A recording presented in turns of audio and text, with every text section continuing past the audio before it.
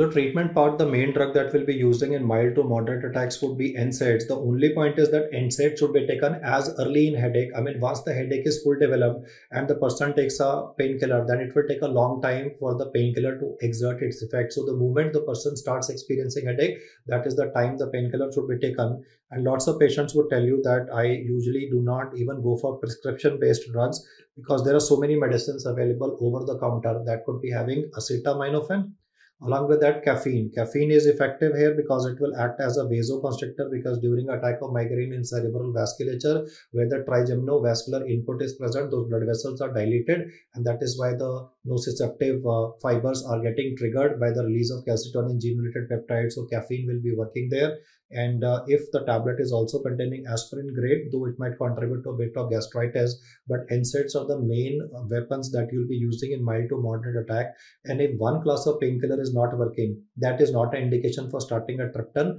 if one class of painkiller is not working you can shift over to an alternative class of medication as well triptans are mainly recommended if there is allodynia in a patient or the person is having a severe disability and here the mcq can test your pharmacology with respect to which are the most efficacious triptans. The mechanism of action triptans would be they would be 5-HT, 1B, 1D partial agonist. Mind my words there. They're not antagonists. These are partial agonists and these partial agonists would be causing a constriction of the cerebral vasculature, the one that was dilated by the calcitonin gene or multiple vasoactive peptides, including especially the calcitonin gene related peptide. The most efficacious ones are rizatriptan and eletriptan primarily because eletriptan would be acting for fairly a long duration. So as such, if he says, though all of the triptans are effective, but or from the pharmacological perspective if he says which of the following is the most efficacious then it is rizatriptan and eletriptan the advantage being they'll act fast and they'll act for a relatively longer duration. The only limitation with respect to triptans would be recurrence of headache. Now because this is a problem he he gets very fast relief after giving rizatriptan or sumatriptan but because there is a recurrence of headache developing in a patient so therefore it is recommended especially in those patients where they say that once the effect of medicine wears away the headache pulsating one comes back again. So he says that you can combine that is NSAIDs that is naproxen with triptans in those patients where recurrence of headache would mean that another dose of medication would be required. As such triptans are not effective in aura. I mean if a person is having migraine with aura then if even if you give triptans once the aura is started it will not help in resolving the aura component. It is only once the aura is completed and the headache has started if the medicine will take care of the headache component but the aura component would not be treated or would not be mitigated by intake of triptans. We nowadays have needle-free devices as well, especially for those patients who can develop attacks very suddenly and very, very severe. We do have available injectable form and this would be a needle-free device by which sumatriptan can be taken by a patient. The dose will obviously not be asked to you, but still because it's mentioned in the book, I'm saying it. That would be 4 to 6 milligrams subcut shot. And this would be a needle-free device, more like an auto-injector, just like we read about a EpiPen that is used in brittle asthma. Similarly, here sumatriptan can be used in those patients where the attacks can occur suddenly and can hamper professional competency of a person. As far as the efficacy of sumatriptan is concerned, it would be about 50 to 80%. On a comparison basis, I can say dihydroergotamine, the efficacy, if we give 1 milligram subcutaneous or intramuscular dihydroergotamine, the efficacy would be 80 to 90%. I repeat again, efficacy of sumatriptan if uh, given as a parenteral shot to relieve a severe headache component would be in the range of 50 to 80 percent if you compare this with 1 milligram shot of dihydroergotamine, the efficacy would be 80 to 90%. Plus, we have a couple of triptans available as a nasal spray as well. The advantage of nasal spray would again be that uh, it will be relatively fast acting, and especially, I mean, apart from fast acting, you say a lot of my patients might be having nausea and vomiting to the level the person will say that even if you keep the tablet, like you wrote a sumatriptan mouth dissolving tablet for the patient, he says, forget about taking the tablet with water. Even if I keep something in my tongue, I feel so pukish so for those patients of ours who are not able to, who are not able to, uh, you know, take a tablet also mainly because of the nausea and the vomiting component, we can be giving a nasal spray of zolmitriptan or we can be giving a nasal spray of sumatriptan. So these are, I mean, aspects to be remembered for triptans and most of the time either he's gonna ask you about the most efficacious one or he can ask you about the mechanism of action, which is that it is a partial agonist and these drugs would not be recommended because they're causing a vasoconstriction. So these drugs would not be recommended in patients who are having ischemic heart disease. In fact, we will discuss subsequently about a category which can be used even in migraine patients with the concomitant ischemic heart disease, but uh, triptans would not be recommended because of the vasoconstrictive activity. And on a comparison, as I explained, if we are giving sumatriptan subcut versus dihydroergotamine 1 milligram subcut, then dihydroergotamine will be having a higher efficacy, about 80 to 90% success in terminating the severe attack of migraine in contrast to a person who had taken a sumatriptan per se. So, I mean, depending on whichever is available, any of the two can be given, but these figures are important and that is why I had to share these with you. The next drug category to be remembered for elevation of symptoms in a severe case of migraine would be Gepants. There are two of them that I would like to speak that is Rimegepant and Ubrogepant.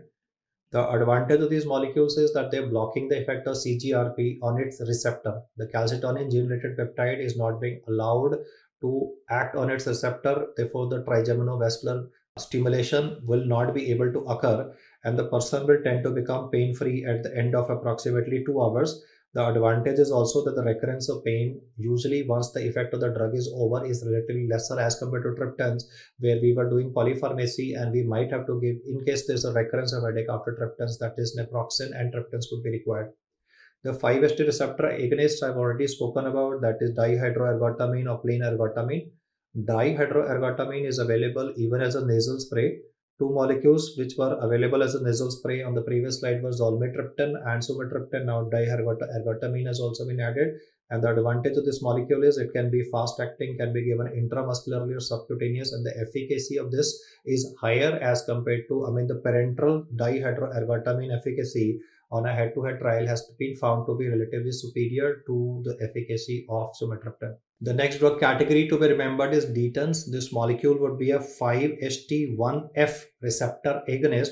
Unlike in triptans where I was saying the molecule is gonna be 5-HT1B1D partial agonist. The name of the molecule to be remembered here is lasmiditan. And the advantage of this would be that it would be filling up the gap for especially those patients who are having cardiovascular disease because we discussed triptans cannot be used in those patients who are having ischemic heart disease concomitantly present. Then because a lot of patients would be having substantial amount of nausea and vomiting, we will have to give domperidone or metoclopramide to these patients. Apart from this, there might be patients who might be coming to us with very severe attack. They're not able to take anything orally and the injections of sumatriptan is not available.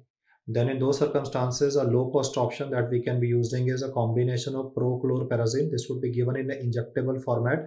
So prochlorperazine and along with this dihydroergotamine can be given slowly over two minutes and especially if a person is having an attack of migraine lasting for more than 72 hours then we call it status migrainosus patient came to me in status migrainosus the headache is terrible or the person has taken treatment from various doctors over the previous three days and is showing me a prescription where multiple drugs have been used right from painkillers to triptans to sometimes even the new drugs might have been used. But there is no improvement and still puking. There's dehydration component present. Then in these patients injection of prochlorperazine which can be given even intravenously slowly along with dihydroergotamine can be useful especially in those situations where in government supply we are not having sumatriptan available and a patient has presented to us a severe attack which has been going on for even a duration more than 72 hours which is taken as a cutoff for status migrainosus other drugs which can be used for management of migraine can be like acetaminophen dichlorothiazide and lots of time patients might be even taking opioids either in a injectable format or may have been prescribed in a tablet format.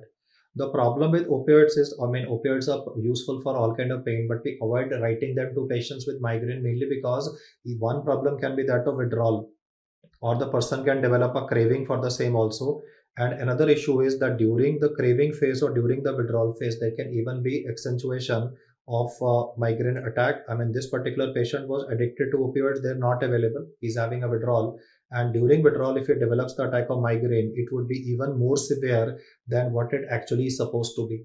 Therefore, we usually avoid writing opioids to patients who are suffering from migraine because your simple answer would be there is an increased propensity or there is an increased chances to increase the severity as well as the frequency of migraine attacks in a patient in fact, the technical term that I would like to mention at the moment is he might give you a MCQ in which even opioids will be mentioned along with standard painkillers.